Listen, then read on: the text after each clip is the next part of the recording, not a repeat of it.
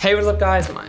What am I doing? You know what, new year? Enough of that, you guys know my name is The Cherno. Let's just get into this. So this video I'm gonna keep really simple, there's no reason for this to be a long video. All I'm going to do is show off a little project that I've been working on that's gonna help me make more videos in the future as well as test out certain things inside OpenGL.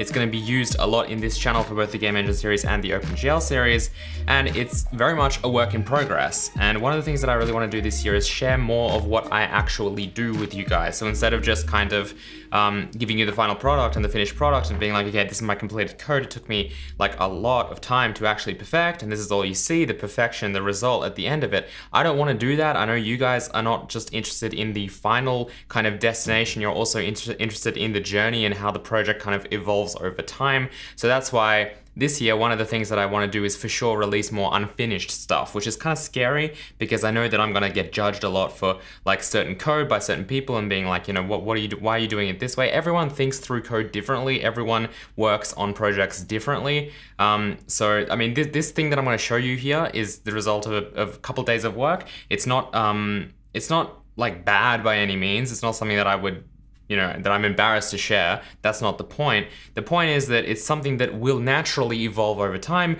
with help from the community, with help from kind of just as I make each video and I realize, huh, that would be good. Um, my intention with this is not just to release a final product, as I said. It's more or less to kind of be like, here is kind of this base, and then let's build upon this base. So speaking of the base, what is it? What have I done? So a little bit of backstory.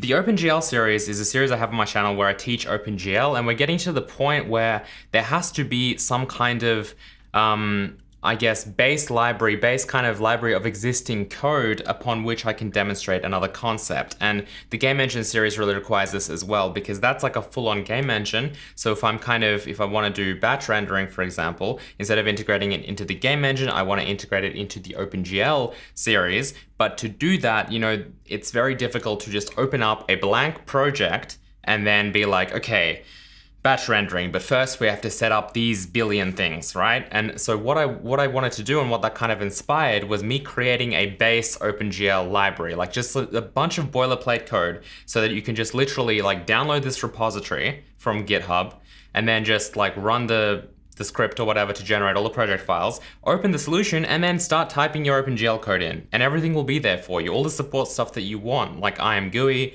maybe utilities for loading shaders quickly so that you don't have to write that OpenGL code, utilities for debugging, all of that kind of stuff, like cameras maybe, because you don't want to just go ahead and make a camera class. You want all of that stuff to be here already so that what you can do and what I can do when I make these videos is just focus on the actual OpenGL code. So this is interesting because it's like, it's almost like the opposite of an engine, right? Where an engine you would expect, you wouldn't expect to write any OpenGL code at all in an engine. You would expect to just be able to, for, like for the engine to have its own API, for you to be able to be like, I want to draw a triangle, I want to draw a rectangle, easy, done, right? But this is like the opposite because it's like, well, give me a blank file for me to literally just type OpenGL code in. That's what I want because I want to actually type the OpenGL code myself. I just don't want all of the surrounding kind of fluff that you need, like creating a window and like, you know, dealing with like events and input. I don't want any of that. I just want to be able to calmly and peacefully write my OpenGL code, and in my case, show you guys the OpenGL code that will make batch rendering happen, for example, right, without having to actually, um, you know, be like, don't worry about all this other code I've got, you know, you can, like that, that's, that's a mess, right? Let's start with a base, everyone download this project, and then let's build on top of that and demonstrate what it is I'm actually trying to teach. And this is gonna become really important in the future when we like, for example, learn about multiple rendering targets, um, deferred rendering, you know, physically based rendering, all of these kind of things, you know, if you don't have a, very very simple foundation base that you like have already built up for yourself and then you can demonstrate these concepts on top of that, it's going to be a huge mess. No one's going to be able to follow along. So that's what inspired this. If you want to hear the backstory behind this, let's dive in and take a little bit of a look at what this base library looks like. Again, I'm to, there'll be a link in the description below to the actual GitHub repository.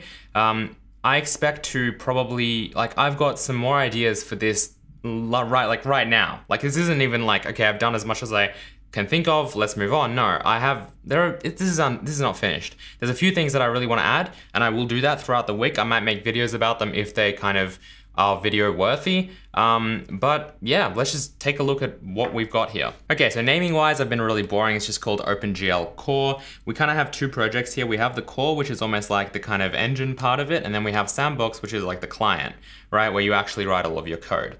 Um, if you go to scripts and then this win premake thing, you run this batch file, it will actually generate the Visual Studio solution and project. At the moment, it's only it only supports Windows, but I'm planning to add Mac and Linux support as soon as possible. In fact, you guys should be able to achieve that because there's no uh, there's no Windows specific code in here at all. So diving into Visual Studio, what you'll see here is a few different projects. So we've got GLAD, GLFW, and IMGUI. Those are kind of like the dependencies, the support library. A lot of this, by the way, is inspired like directly from Hazel. In fact, I've taken quite a bit of this from Hazel. So it will be familiar to you, but I haven't taken any of the kind of bigger systems or anything like that. I've just taken things like layers, input, you know, uh, logging, uh, what else is there here? IMGUI stuff, just the whole application layer, um, orthographic camera and the camera controllers. And again, you'll notice there's no perspective camera or anything yet. Um, that's gonna be definitely added in the future. But we have like this whole um, kind of, we've got OpenGL debug, we've got this whole little library of code that is really gonna help us with kind of I guess, testing out things or learning things in OpenGL so that we have a nice OpenGL sandbox to play around with. So going into here we have the same kind of setup as what you would expect inside Hazel. We have an application here, we push a layer, so you can have you can have OpenGL code on multiple layers if you want to, that's totally fine. And then inside sandbox layer, which is our example here, I've just written some example code. And you'll note that this sandbox layer file, you know, it has OpenGL code in it. That's the entire point.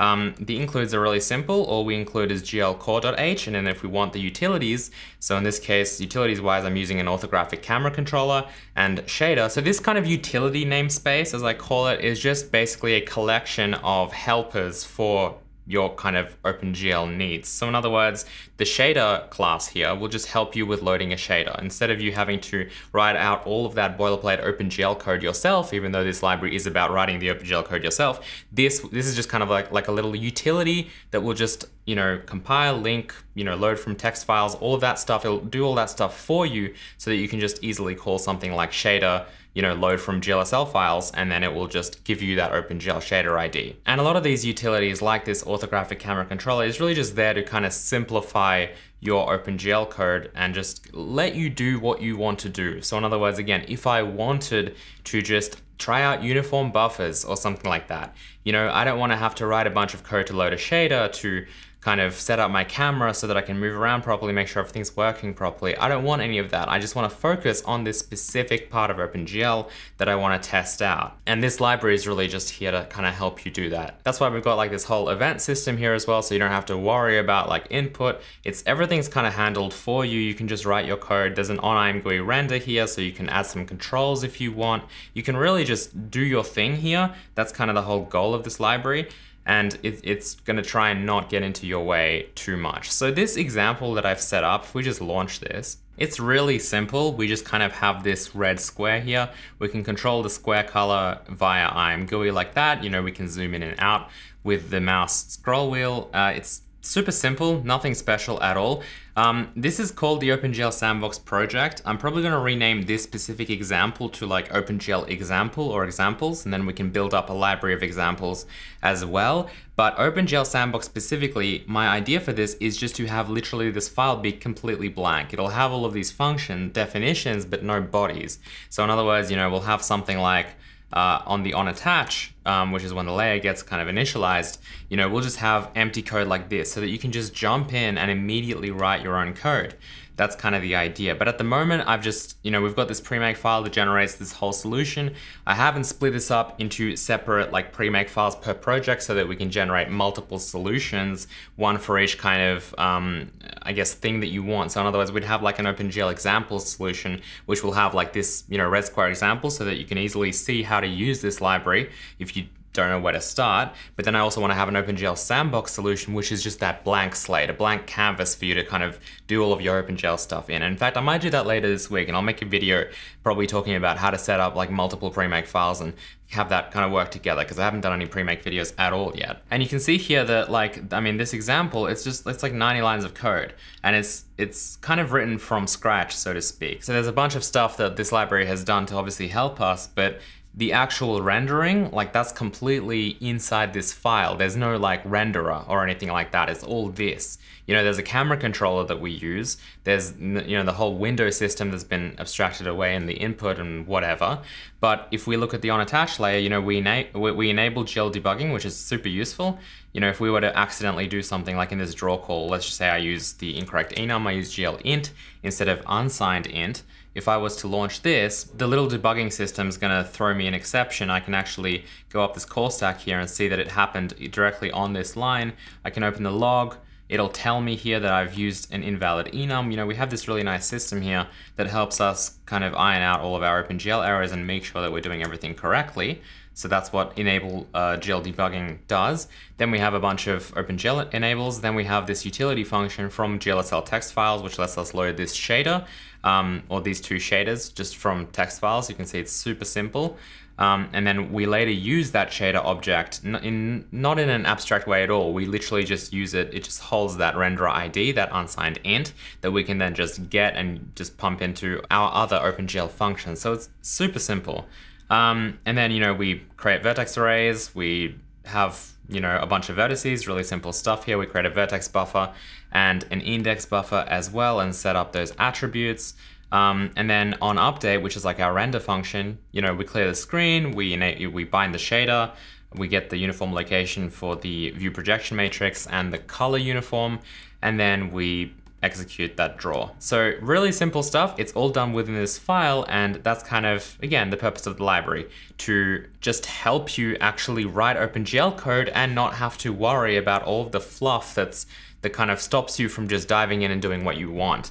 Um, another huge benefit I think to this is the fact that IMGUI is just built in, right? And because IMGUI is just like built in for you, if I did want to test something out that would normally require a lot of setup and like days or weeks of, of actually kind of building up something like a proper test bed for myself, a proper sandbox to actually test something out, I don't have to worry about that at all because I can just add my IMGUI controls all around whatever it is I'm building and I can have this like great example up and running within like just no time at all. So I love this. I really like something like I, I love creating stuff like this because it really just almost takes the stress out of being like, okay, you know, I want to learn shadow mapping. Because back in the day when I when I was, you know, really excited about learning all of these graphics techniques, not that I'm not now, it's just now they're a lot harder. You know, now I'm like excited about learning ray tracing or something like real-time ray tracing, something a bit more advanced. But um, you know, back in the day when I was like, okay, let's sit down and write, and, you know, worry about shadow mapping, like that's that's really difficult to do for someone who's never done it before. And if you're kind of diving in and doing that just on your own with no support libraries, with nothing like that, it can really be difficult. But you know, if I had had you know, IMGUI. if I had had like an event system and this kind of layer system and this debug system and just this whole, if I had all of that like working and written down so that I could just, you know, look through this and write my OpenGL code and not have to worry about like, you know, oh, but, you know, I've written this engine and it's all abstract and I have no idea what order my OpenGL like calls are even coming in if I don't use something like, um, you know, like a graphics debugger. Like it, it's it's just a mess, right? So this will hopefully help a lot of you people. It'll it's definitely to help me actually teach OpenGL going forward, and in turn teach the game engine series. So I'm super excited about it. About it. Just let me know what you think in the comment section below. Again, the link to download all of this code will be in the in the description below. Um, the next video I put out um, well, I mean, the next OpenGL series video that I put out will use this library to probably do batch rendering. So we're gonna, that's what, that's kind of the first use case of this. Hope you enjoyed the video. If you did, please hit that like button. Don't forget to help support the channel on Patreon, patreon.com forward slash the Cherno. Huge thank you to everyone who does. And I will see you guys next time. Goodbye.